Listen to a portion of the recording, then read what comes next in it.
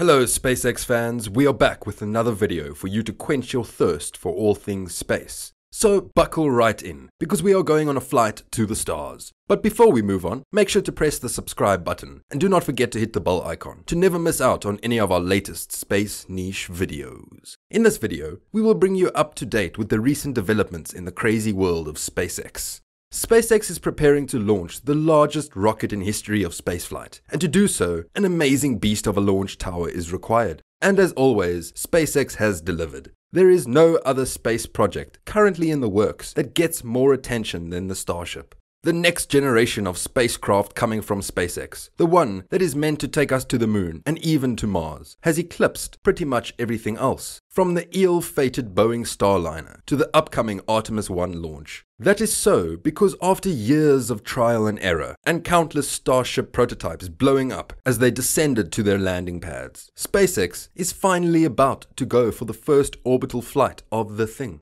With hopes still running high that the launch could be achieved by the end of the year, the Starship is undergoing final testing. It was only last week when we saw bits and pieces of its heat shield being blown off during an ambient pressure test, for instance, and up next, the static fire test. But it's not only the Starship that is being put through its paces, but the other technologies involved in supporting it as well, namely the Booster 4, as well as the launch tower.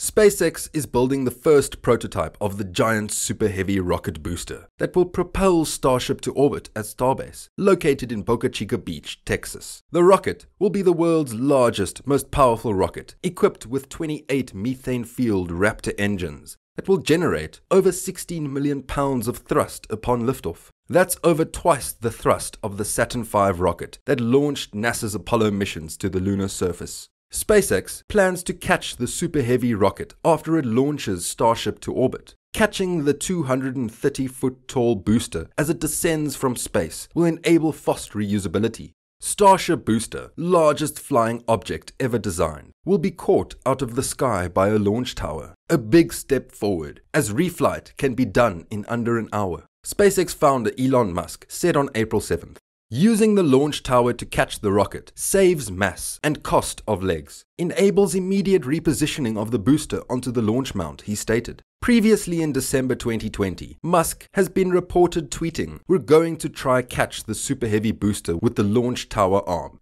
It is suspected that the launch tower with a harness will be used, which will take hold of the Super Heavy booster as it lowers itself into the arms. The harness will then lower the booster to a landing pad, thus eliminating the need for landing legs and increasing the odds of a safe recovery.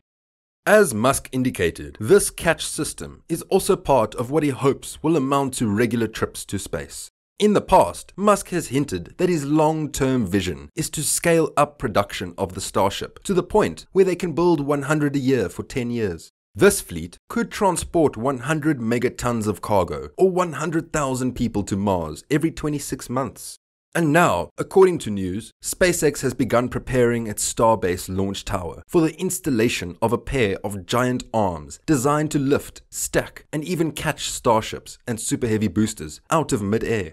Deemed Mechazilla by CEO Elon Musk, assembly of the first of the structure's three main arms only began in earnest in June 2021. That quick disconnect arm, designed to fuel Starship and stabilize Super Heavy during Starship stacking, was installed on August 29th and followed by the addition of a claw like appendage meant to grab onto boosters about a month later. Now, all that's missing from Mechazilla's first arm is the actual quick disconnect device that will connect to Starship's umbilical panel to supply propellant, power, and communication links. However, ever since Musk first hinted at the possibility of catching Super Heavy and Starship, the star of Mechazilla show has always been its chopsticks. SpaceX's internal colloquialism for the pair of giant moving arms meant to lift and catch rockets.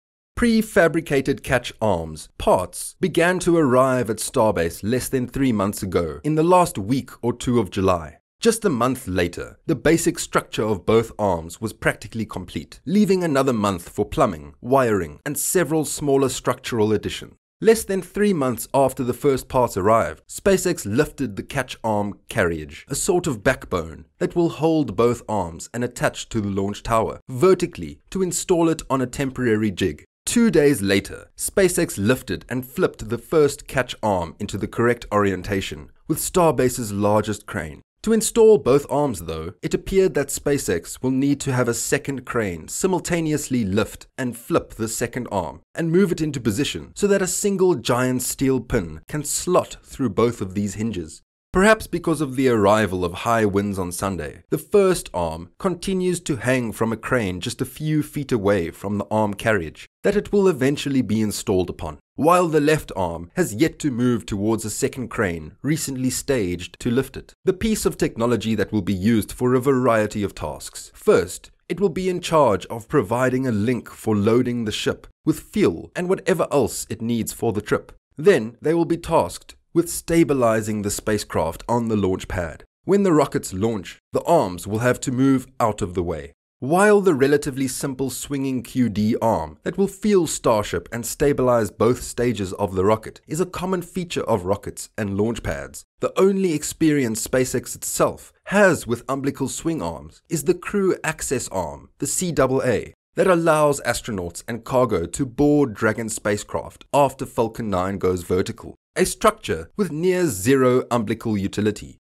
Technically, the transporters slash erectors that cradle Falcon 9 rockets, lift them vertically, and fuel them before launch have some similarities with swing arms, but SpaceX has always used simpler and more reliable passive mechanisms whenever possible.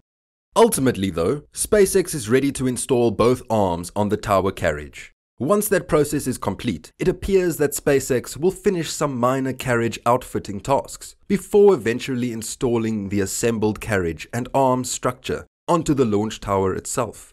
It's hard to say for sure, but depending on the readiness of the complex system of pulleys and drawworks, the tower needs to hold and move the carriage and arms. Mechazilla could effectively be fully installed and ready for testing by the end of the month.